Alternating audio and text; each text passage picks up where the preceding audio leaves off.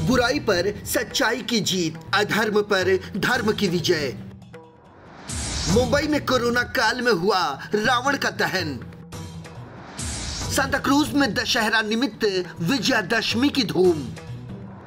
उत्तर भारतीय विश्व महासंघ का गौरवपूर्ण 27वां साल। मुंबई की सांता क्रूज पश्चिम में स्थित धर्मवीर संभाजी क्रीड़ांगण में हर साल की तरह इस साल भी दशहरा त्योहार बड़ी धूमधाम से मनाया गया।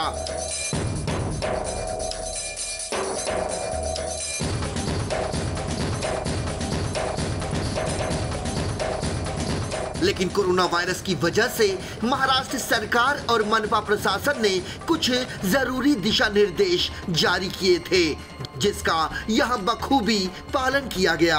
वरना हर साल दशहरा के मौके पर धर्मवीर संभाजी मैदान पर लोगों की जो भीड़ उमड़ती है, वो देखते ही बनती है। अपनी टीवी स्क्रीन पर इन तस्वीरों को आप देखिए, जिनमें आप अंदाज़ा बड़े सहजता के साथ लगा सकते हैं कि हर बार के मुकाबले इस बार रावण कोरोना की गाइडलाइन के तहत बनाया गया और नियमों का पालन करते हुए दहन किया गया। हिंदू पंचांग के अनुसार दिवाली से ठीक 20 दिन पहले आश्विन मास की शुक्ल पक्ष की दशमी तिथि को दशहरा मनाया जाता है। मर्यादा पुरुषोत्तम भगवान श्री राम ने इसी दिन रावण का वध किया था।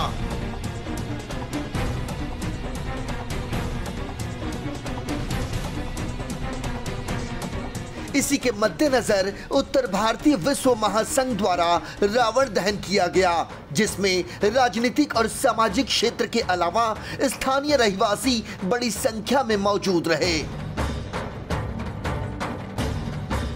इस मौके पर स्थानीय नगर सेविका हेतल गाला ने सभी को दशहरा की शुभकामनाएँ दी और लोगों से अपील करते हुए कहा कि मास्क का इस्तेमाल और सामाजिक दूरी का पालन हम सभी के लिए अनिवार्य है। कम लोगों में या कम फैलाए कोरोना, उसके लिए ये प्रयास चालू है और इसमें रियली सबका एफर्ट भी ज़रूरी है। जैसे मैं हूँ या जो भी नागरिक है तो मुझे कोई प्रॉब्लम नहीं है कि भाई लोग कम है अच्छा है। सोशल डिस्टेंसिंग मेंटेन होनी ही चाहिए। लोगों के लिए है ये सब कुछ।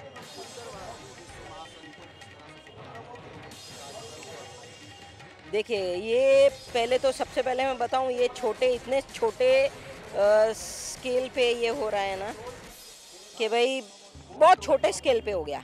मैंने अगर मैं इत, इतने सालों से आ रही हूँ तो इसमें हंड्रेड परसेंट पूरा भरा रहता था, बाहर पब्लिक खड़ी रहती थी। और आज उसमें देखो, अब गिन के कितने, मेरे ख्याल से दस, पंद्रह कुर्सी लगी हुई है।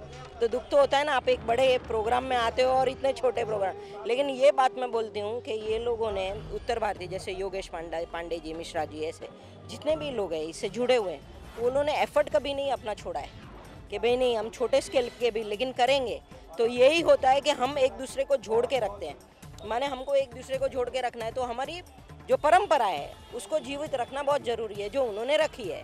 तो मेरी बहुत बहुत शुभकामनाएँ होंगी। इंडियन धनवंतरी के नाम से विख्यात साइंटिस्ट मुनीर खान भले ही किन्हीं कारणों के चलते इस कार्यक्रम में नहीं पहुँच पाए, लेकिन कार्यक्रम को सफल बनाने के लिए उन्होंने अपना महत्वपूर्ण योगदान दिया।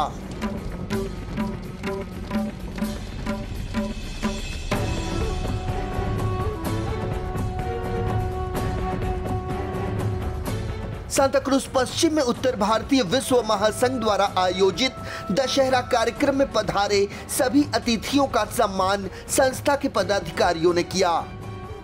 इस मौके पर संस्था की तरफ़ से उन लोगों को श्रद्धांजलि अर्पित की गई, जो कोरोना महामारी और अन्य कारणों के चलते इस दुनिया से हमेशा हमेशा के लिए चले गए।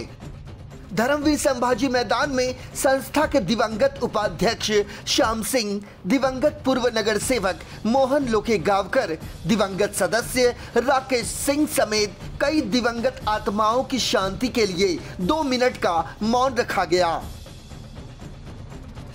मंच का संचालन संस्था के मुंबई अध्यक्ष और इन 24 न्यूज़ के प्रबंध संपादक अवनिंद्र आशुतोष ने किया। खुशी होती है। और मैं सबसे पहले बधाई देना चाहूँगा कि हमारे उत्तर भारतीय विश्व महासंघ के जो अध्यक्ष हैं, योगेश पांडे जी, बहुत मेहनत से इन्होंने इस कार्यक्रम का आयोजन किया है। एक जोरदार ताली हो जाए इनके नाम पर। सबसे पहले मैं तमाम दर्शकों को उत्तर भारतीय विश्व महासंघ की तरफ़ से दशहरा की बहुत बहुत शुभकामनाएँ देता हूँ। और जिस तरह से उन्नीस सौ चौरानवे से ये सफ़र यहाँ तक पहुँचा है, ऐसे में दो साल हमारे बर्बाद हो गए बिकॉज़ ऑफ़ कोरोना कोरोना ने जो दस्तक दी तो उसके पीछे जो आवाज़ आई, उसमें सिर्फ़ मौत ही करा ही देखा। मौत कितने लोगों ने साथ छोड़ दिया इस दौर में। और ऐसे में हमने इस संस्कार को, इस संस्कृति को ज़िंदा रखने की बस कोशिश की है कि हर साल रावण जो जलता रहा है, उसके संस्थापक प्रकाश जानी जी को मैं बहुत धन्यवाद देना चाहूँगा। इस संस्था से जितने भी लोग जुड़े हैं, सारे पदाधिकारियों को मैं बधाई देना चाहूँगा और मुझे एक नई ज़िम्मेदारी दी है उत्तर भारतीय विश्व महासंघ ने कि मैं मुंबई का अध्यक्ष बनूं। तो बतौर मुंबई अध्यक्ष होने के नाते मैं आने वाले दिनों में कुछ ऐसी गतिविधियाँ करूँगा, जिसमें आपका और मेरा संवाद सीधा सीधा होगा। आप उत्तर भारतीय हैं, दक्षिण भारतीय हैं, ये मायने नहीं रखता। बस ये मंच जो नाम है, मंच का नाम है उत्तर भारतीय विश्व महासंघ, जहाँ विश्व है, वहाँ तो सब कुछ है, समाहित है। और एक बार फिर से साइंटिस्ट मुनीर खान ने जिस तरह से हमेशा अपना आशीर्वाद दिया है, इस संस्था को योगदान दिया है। लगातार वो आते रहे हैं, लेकिन इस बार कोरोना काल की वजह से वो नहीं आए। उनकी तरफ़ से आप तमाम दर्शकों को बहुत बहुत शुभकामनाएँ। उन्होंने हर बार की तरह इस बार भी कहा है कि आपको मैं बताऊँ कि उन्होंने कहा है, जय श्री राम। और हर त्यौहार को हम लोग जिस तरह, जिस शिद्दत से मुंबई कर मनाते हैं, ऐसे में रावण धन का एक विशेष स्थान है और इसमें जो भी लोग जुड़े हैं, उनका बहुत बहुत शुक्रिया साइंटिस्ट मुनीर खान की तरफ़ से। रावण दहन से पहले उत्तर भारतीय विश्व महासंघ के राष्ट्रीय अध्यक्ष योगेश पांडे ने सभी अतिथियों का सम्मान किया और उन्हें ऐसे ही हर साल धर्मवीर संभाजी मैदान में दशहरा के उपलक्ष्य में आने का उन्हें न्योता दिया। कहें क्या, ये सवाल हमारे लिए भी बड़ा अजीब है। क्योंकि माहौल कुछ ऐसा हो गया है कि लोग अभी तक हमने सुना था कि चार युग होता है, ये पांचवा युग आ गया कोरोना युग। उसके अंतर्गत हमें कहा गया कि आप डिस्टेंस बना के रखिए मास्क का उपयोग कीजिए पब्लिक को ना बुलाइए। अगर पब्लिक नहीं आती है तो आपका कार्यक्रम सफल है। ऐसा आज जीआर के अनुसार हमें करना पड़ा।